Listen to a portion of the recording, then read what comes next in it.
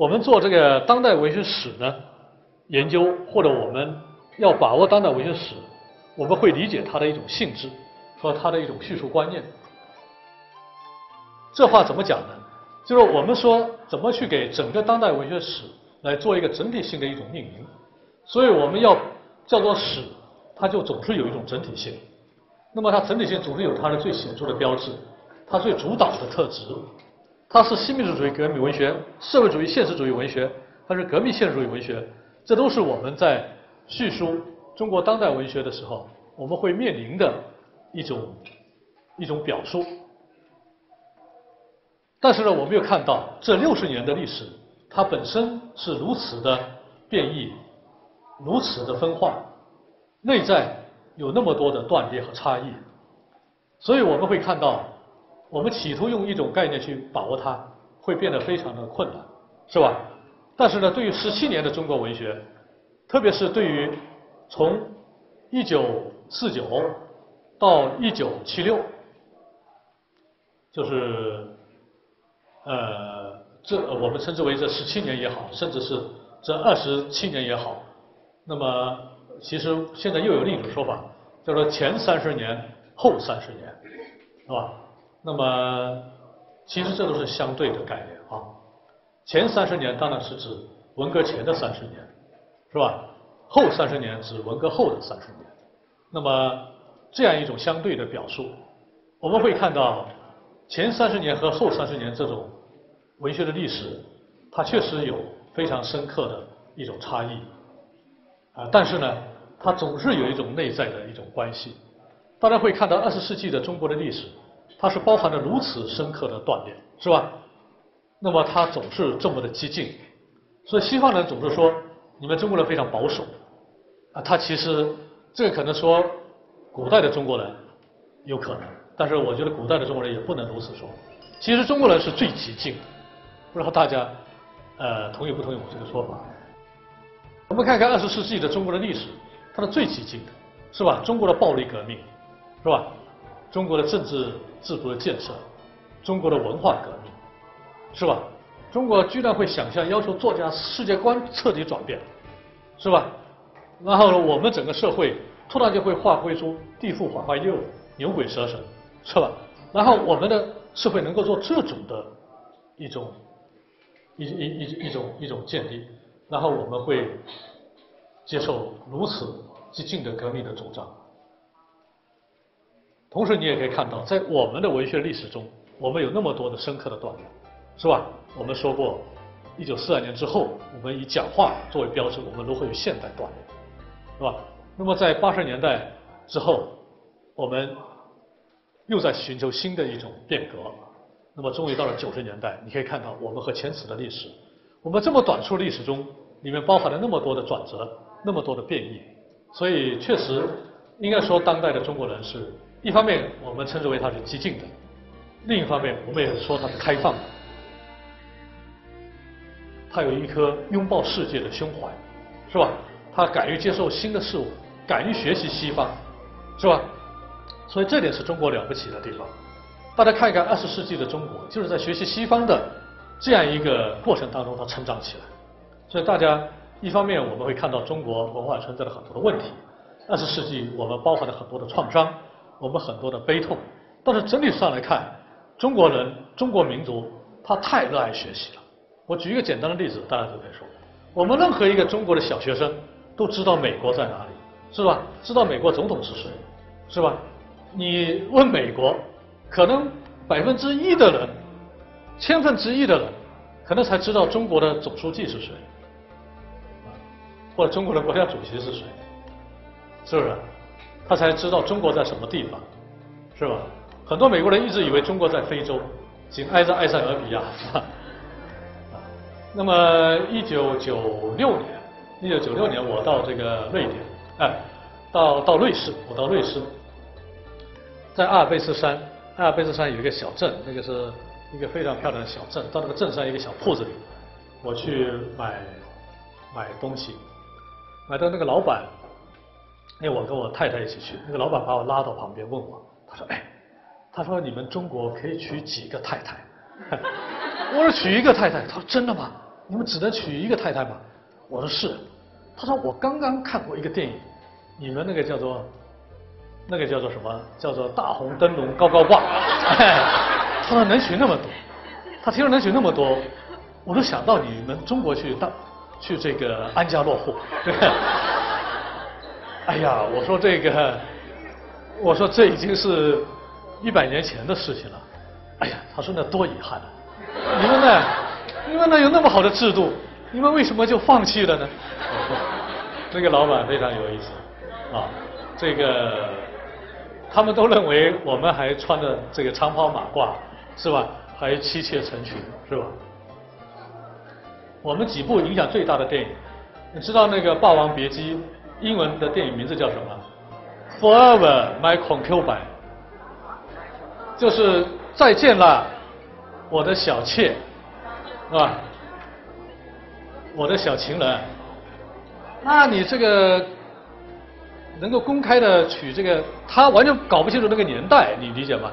西方人完全不知道《霸王别姬》呢讲的是一个什么年代，他完全不知道，所以他以为你可以公开化的，能够这么那个那个来这么搞。然后大家看一看，都是张艺谋的电影是吧？那个小金宝摇啊摇，摇到外婆桥，是吧？那又是一个这个小老头。所以他觉得中国这个非常好，啊，你们的制度非常好。所以他们西方人他完全不知道中国现在是怎么回事，但是我们中国都知道，是吧？因为我们学习西方，我们能够学习西方的长处，所以这样中国中国人有希望，啊，中国人有希望，啊，当然我们也学了很多西方的，也学了很多西西方的坏处，是吧？啊但是这个一夫一妻制我们还是学对了啊，我们才有爱情是吧？我们的小说才有东西可写啊。呃，文学史的性质呢，就是我这里实际上牵涉到的是一个这个性质，就是说我们这个文学到底是一个什么样的文学？其实呢，我要说的就是说这个性质是不能简单的用社会主义这个去概括它，也正如。我们企图把社会主义文学之前的文学把它描述为新民主主义文学，也并不恰当一样。所以，文学的历史始终有它溢出这些政治命名的这些政治概念的那种东西。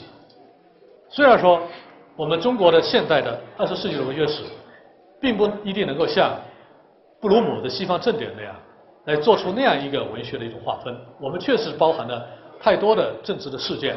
太多的政治的内涵在里面，但是我们这种文学依然有我们可以拓展的很丰富、很复杂的一种论说。所以我很赞成洪子成先生在《问题与方法》里面他提出的问题，就是说文学史研究的会遇到这几个问题，就是我们对历史的理解，我们讨论的文学史到底是文学还是历史？我觉得他提的这个问题非常重要。那么同时呢，我们也要去思考，就当代文学史的一种可能性。就在我们的参考书里面，洪子成先生的这个《中国当代文学史》是我们的第一的参考书。洪子成先生的《中国当代文学史》，我觉得是写的最好的一本文学史。还有他的这个问题与方法也是非常值得我们去阅读的啊。洪老师是这个我们的老前辈，他对当代文学史的研究是奠基性质的哈。这个他的书大家一定要读，要点就是我所说的。我们说的文学史的性质，我们一方面要去看到社会主义的经验，这样一个非常非常独特的，我们从五十年代以来中国的文学，我们称之为当代文学，他所走的一种道路，是吧？社会主义经验的一种开创，一种创造，这是一种历史的抱负，一种历史的独一无二的一种道路。虽然说他受了前苏联的影响，但是社会主义文化。这么一个概念，在世界资本主义文化的体系中，在我们称之为现代性的这样一个框架里面，它是独特的。我们要在这个意义上去理解它的文学的特征，我们才能够把握它。但是同时，我们又不能把社会主义本质化。文学永远有对抗本质化的那种力量。所以我就说，我们在探讨中国当代文学史呢，我们。要更广阔的历史视野和更深层的理论探究。就为什么中国当代文学会如此深地卷入政治？为什么中国现代以来的革命如此需要文学？为什么在政治革命的压力底下，文学依然会被认作文学，并且以其任性的方式延续和存在下去？所以这些问题是我们在理解社会主义文学也好，五六十年代的文学也好，我们都是要去在这些问题底下去思考它。一旦思考这个问题，我们就会揭开盖子，就可以打开社会主义文学这个神秘的面纱，就可以避免它的这个单一化的本质。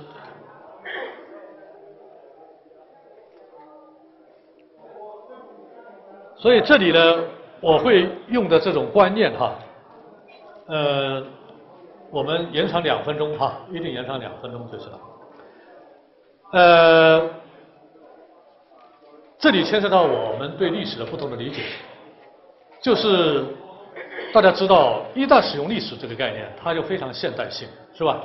历史是一个现代性的概念，所以大家我谈了这么多现代性，大家还不能理解，呃，还还觉得很难理解，我就用一句话。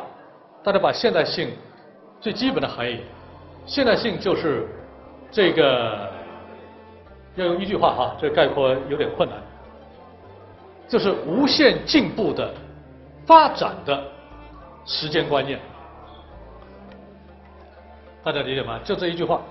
如果大家觉得现代性太难理解，就无限进步发展的时间观念，它是一个时间观念。那么至于别的含义，我在。后面下一节课我再去展开它。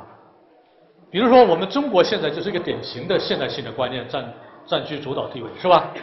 马克思主义的观念就是一个现代性的观念，是吧？那么，人类社会从殖民呃，从或者殖民，从这个奴隶社会到封建社会，是吧？封建社会到资本主义社会，资本主义社会到社会主义社会，社会主义社会到共产主义社会，它是无限进步发展的，是吧？然后，社会主义一定要战战胜资本主义，这是社会主义观念。五十年代我们是现代性的，是吧？我们大跃进，是吧？感应超美，是吧？这都是现代性的观念，大家就好理解了，是吧？一说这样就理解了。那么我们在今天，我们讲 GDP 增长，我们天天讲增长，中国 GDP 爆发，是吧？增长百分之十几，我们高速发展，我们这个发展的观念，这现代性的观念。所以后现代是什么观念呢？后现代性就是怀疑发展，他觉得发展是会带来很大的问题的。是反思发展，所以后现代反现代性就在于它怀疑发展，怀疑过度发展，啊，大家把握住这一点，是吧？从历史观上来说呢，那么现代性的历史观，就它是一个完整的、线性的、有目的的，历史是这么合目的的发展，历史是有本质的。那么后现代认为呢，历史是断裂的，是碎片的，是我们的一种叙述。就是说，我们现在归纳的这个文学史，从一九四二年的讲话一直发展到今天，这样一个过程，它并不是一以贯之的，它并不是完整的，它是断裂的。同时，后现代的历史观包含着对自身叙述的一种一种反思，一种警惕。就说这是我的一种叙述，这个历史并不是客观存在的，不存在一个客观的历史。只存在我叙述的一个历史，OK，所以这样一个历史是可以被别人再重新叙述的，没有一个绝对的客观的本质化的历史在那里，我们去重现它。对于我来说呢，这个对当代文学史的理解呢，有一个重要的理论前提，这就是一个现代性的观念。如果说不解决这个观念，我们对整个当代文学的理解呢，就无法重新开始。那么一说到现代性这个概念，可能这个是大家最难理解的。那么我可以这么说，就是说，这个迄今为止，在学术界，在中国的学术界，大家对学现代性这个概念，才是这两年才稍微清楚一点。直到两千零一年，中国的学术界对现代性这个概念还闹了笑话。什么笑话呢？两千零一年夏天，这个。杰姆逊呢到中国做一个讲演，就题目是叫做现代性的神话。那么杰姆逊呢讲演完了之后，那么中国学界的呃学人呢，就是都是教授啊、博导啊，那么现代文学、现当代文学的、文艺学的啊，都博导，几乎呢百分之七十以上把杰姆逊的观点理解错了，或者说理解反了。他们就一下很纳闷：杰姆逊为什么到中国来鼓吹现代性的观念？杰姆逊原来不是鼓吹后现代观念吗？那么大家可能知道，一九八五年年底，杰姆逊在北京大学开讲这个后现代理论与文化，所以杰姆逊呢是作为中国后现代理论的这个传教士，好像说他鼓吹后现代理论。那么到了两千零一年，就过去了将近二十年了，杰姆逊怎么摇身一变，鼓吹起现代性来？那么当年说杰姆逊鼓吹后现代，这也是一个误解。其实呢，杰姆逊是一个左派。那么后现代话语呢，它确实是一个左派谈论的话语。但是呢，谈论一种话语不等于他就赞成这种话语，是吧？就是说，你吃猪肉不等于你要变成猪，是吧？那么你吃牛肉也不等于你就是牛，是吧？所以这这这是不一样。我们就以为你谈什么，你谈后现代，那你肯定就是后现代，是吧？那么你谈现代性，你就是主张现代性。其实不是这样。左派它是一个批判性，马克思主义的批判性，它批判一切，它是批判资本主义的后现代文化。所以杰姆逊的书呢叫做晚期资本主义的文化逻辑。他认为后现代是资本主义晚期的现象。什么晚期啊？是吧？肝癌晚期那是不治之症，是不是快死了？是不是？所以后现代呢，他是把它作为西方资本主义晚期的病症的文化来表达。但是大家要注意到一点了。西方的左派呢，他们的这个口才都非常好，一个个都是雄辩家，口若悬河，然后文章写的非常华美，是吧？那么一泻千里，铺天盖地，非常华丽。你像那个特里伊格顿，特里伊格顿在英国是非常有名。我到英国很多书店，他的书是一个书架，全部是他的书。他的英文的文章是写的非常的漂亮，即使是翻成中文，他有他有几。几本书是吧？审美的意识形态、文艺学引论，啊，这个后现代的幻象，这都是他的书。但其实他的书非常多，他的文章写的非常的漂亮。所以西方的左派的，你看他在批判后现代，你读他的书呢，你以为他在鼓吹后现代，是吧？杰姆逊的文化转向，不知道在座的同学有没有读过？它里边完全是批判后现代的文化。但是你读着读着。你觉得他好像把后现代文化描绘得非常漂亮，包括他那个书里边他自己也说，这个后现代文化真是光怪陆离呀！要不是因为它是资本主义的文化现象，确实也是颇有这个令人陶醉于其中的啊！大家可以去翻翻他的文化的转向时间。所以大家误以为杰姆逊是在鼓吹赞成后现代文化，认为后现代文化的到来，这个将会开启一个文化的崭新的时代。其实不是这样，那是资本主义晚期的文化逻辑。那么他批判现代性也一样，同样，他批判现，他谈现代性是他对现代性在当今全世界的这样一种传播，他感到痛心疾首。呃，当今的现代性其实呢是他所批判的现代性，所以他那个文章里面呢，他非常复杂。我曾经给同学们上课上那个现代性理论导读，就读杰姆逊这篇文章，大家读完之后，大家才会明白。就他其实把现代性，他有好几种现代性搅在一起，说有一种是他认为的正统马克思主义的现代性，就是在马克思的意义上理解的现代性。这个现代性就是社会主义必然战胜资本主义。这个现代性就社会主义的福利国家，社会主义在全世界要实现人民当家作主，实现无产阶级作为社会的主体，然后是福利国家，所以这样一个现代性。那么。现当今的现代性呢，是资本主义全球化的现代性，所以有多种。依然，杰姆逊在杰姆逊的叙述当中呢，西方左派大家要注意，读他的文章你会觉得不得要领。他们会把很多的理论和观点呢，它是纠缠在一起的，因为他们那种思辨性非常发达。